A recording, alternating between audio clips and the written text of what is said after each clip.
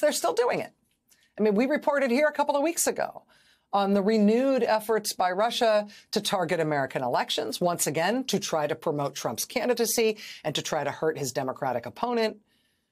And it's not like I was reporting on some obscure thing a couple of weeks ago when we covered that story. I mean, there it is, headline in the New York Times. Spate of mock news sites with Russian ties pop up in the United States. Russia's still doing it. They're doing it again, and it is as ham handed and embarrassing as it ever was. And they're doing it for the same transparently obvious strategic reasons as they do everything. The difference is this time forewarned is supposedly forearmed, right? Knowing that it's coming should make us better prepared. Except this time around, some social media companies, particularly Twitter, have no interest at all in even trying to stop what they're doing to target the election this time around. And this time around, many Republicans seem to have lost any qualms they might once have had about helping out with what Russia is doing, even with the really obviously fake stuff. But now here's something new. Something new on top of that. It is no longer just Russia. Because why would it be, right? I mean, the way it's gone, why wouldn't other authoritarian countries who want to weaken the United States and want to denigrate democracy and want to try to get Trump back into the White House, why wouldn't they throw their hats in the ring too? It's not like Russia's paid much of a price for it. Right? Russia appears to have purchased themselves a significant chunk of one of the two major governing parties in the United States for the price of a few sanctions and a few intelligence officers being unable to travel for fear of arrest. That's basically the price they've paid for the Republican Party and the conservative movement hopping into bed with them in a very serious way. Right? That's cheap if you're willing to buy it. And so, of course, it's no longer just them. Headline today in the New York Times.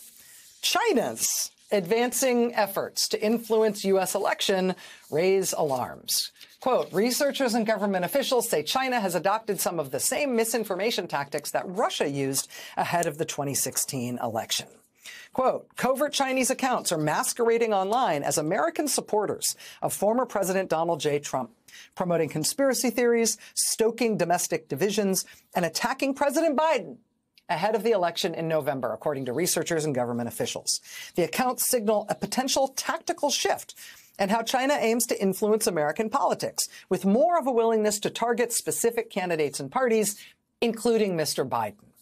In an echo of Russia's influence campaign before the 2016 election, China appears to be trying to harness partisan divisions to undermine the Biden administration's policies. Some of these Chinese accounts impersonate fervent Trump fans including one on Twitter that purports to be a quote, father, husband, and son who is quote, MAGA all the way. The accounts mocked Mr. Biden's age and shared fake images of him in a prison jumpsuit, or claimed that Mr. Biden was a Satanist pedophile while promoting Mr. Trump's Make, Again, Make America Great Again slogan. Here's one of these, these China linked accounts described by these researchers promoting that Trump video over the weekend that showed an image of President Biden tied up hand and foot as if, he as, as if he were being he kidnapped or, or held hostage. Here's another one of the China linked accounts showing a, a different video, one for Easter.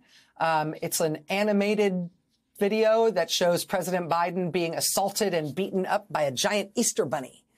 And I'm not going to show you the video because it's violence against the president of the United States. And yeah, it's for Easter. Isn't that great? But it shows the president falling down and looking hurt and being pummeled.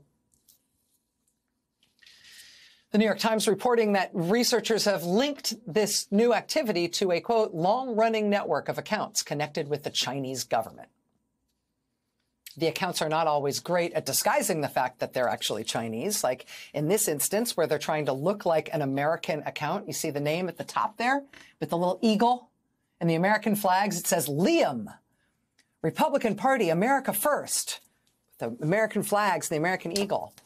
And this post is an attempt by this account to reply to a Trump video with basically a big, a big attaboy. 75 million Trump fans can't be wrong. The problem with this is that they forgot they weren't supposed to be typing in Chinese. They weren't supposed to be typing in Mandarin. So it's only the Google Translate that tells you what it says. Oops.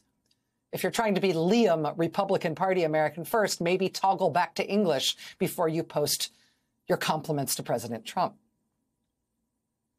The Foundation for the Defense of Democracies, which has done some of the research um, quoted in the New York Times today, particularly about these, this campaign's operations on Facebook, also notes that the influence operation appears to be active almost exclusively during business hours in China. During business hours Beijing time, all their posts appear here in, for us, what are the overnight hours? But those hours correspond to the work starting at 8:50 a.m. Beijing time, stopping at 6 p.m. Beijing time with an hour off for lunch from noon to 1 local time during which they don't post at all. So these are accounts and users that are occasionally lapsing into Chinese or forgetting to turn off the settings that show that their web browsers are set to operate in Mandarin. They're operating on Chinese business hours, including a nice solid hour for Chinese lunch. They appear pretty obviously linked to Chinese government influence operations. But what they're doing now this year is trying to mess with our election to try to help Trump get back in there and to hurt Joe Biden's chances just like Russia has been doing since 2016. And the Trump years have shown us thus far that we have proven to be, forgive me, but we have proven to be not just inept, but spineless when it comes to putting up with this from one authoritarian country that wants the worst for us. What are we going to do now that it's two of them at once, both pulling for Trump? Joining us now is Tiffany Hsu. She's a technology reporter at the New York Times who's reported out this and other stories on the same topic. Ms. Hsu, thank you very much for being here. I appreciate your time. Thanks for having me. So, what is the evidence, as you understand it, that this appears to be linked to not just operators in China, but to the Chinese state?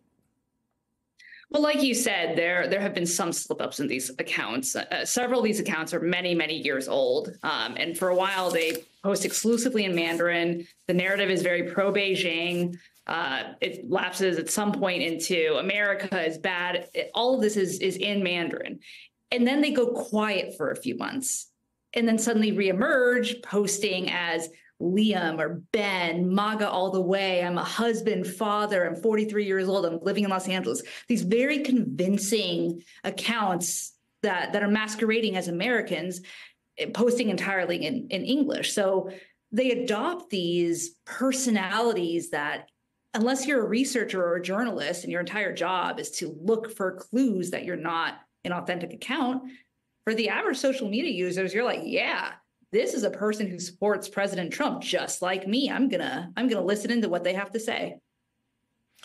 And I've been focusing in, in, in trying to understand this on some of the elements of it that are ham-handed or that are that appear to be mistakes, letting it slip, accidentally showing that your your browser is set to Mandarin, or sometimes accidentally posting in Mandarin. That interesting detail that was identified by the uh, Foundation for Defending, Defending Democracies about them posting mostly on Beijing time, except not during their uh, not during their lunch hour. I've been focusing on the things that kind of show it to be Chinese operations. But as you're saying, some of these personalities and some of the idiom they're using can be sort of convincing. Are they getting better at this? Are these things improving over time in, in terms of their ability to masquerade as Americans? oh, leaps and bounds beyond what the Chinese used to be capable of. I mean, if, if the Russians are seen as being ham-handed, they're like the the teenager who's like, oh, mom, yeah, I was totally studying at the library and not drinking at a party with my friends. Then the Chinese, for a long time, were the toddler who is covered in paint saying, no, no, mommy, I didn't just paint the entire wall like you told me not to. like very, very enthusiastic, but very see through. What they're doing now is, is a step change in, in their capabilities right? The Chinese used to spread this narrative that was very pro Beijing. It was very much this is the Beijing party line. China is great, you know, back all of our, our policies and our philosophies. A couple of years ago, they shifted to Beijing is good, but America is also bad. And so you see them start getting involved in the American culture wars, trying to weigh in on, you know, gay rights, on crime in the US.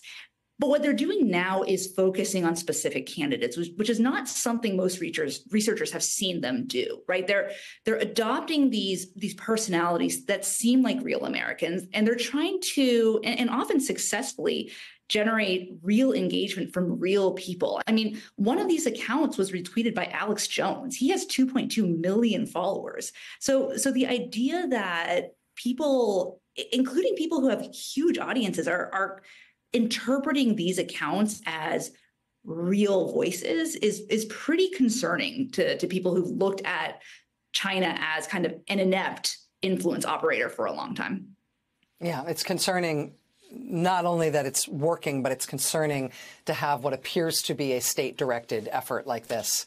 Um, focused in this way at this time ahead of the election. It really does feel uh, like we haven't learned much. But I learned a lot about it from you today and from this reporting. I hope you come back and talk to us about this as you continue this this work. It's fascinating and important stuff. Thank you. Hey everyone, MSNBC has a new and improved app. You'll get real time alerts and analysis, live blogs, in depth essays, video highlights, and the best 2024 election coverage. Download the new MSNBC app. Here's how to do it you tap on the App Store on your phone. You hit search on the bottom right corner. You type in MSNBC. You click on the MSNBC app. You click on Get or the cloud icon and enjoy it.